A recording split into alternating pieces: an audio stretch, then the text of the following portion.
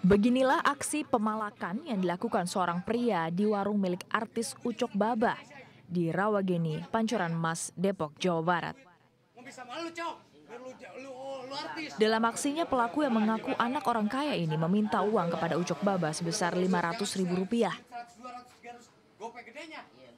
Warga setempat yang berada di lokasi turut menahan pelaku agar tak membuat keributan.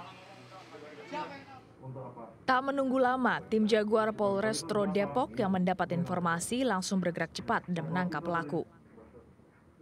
Pelaku ditangkap tanpa ada perlawanan. Akhirnya setelah kami menemukan saksi-saksi, mendapatkan saksi-saksi, dan ditunjukkan tempatnya di mana.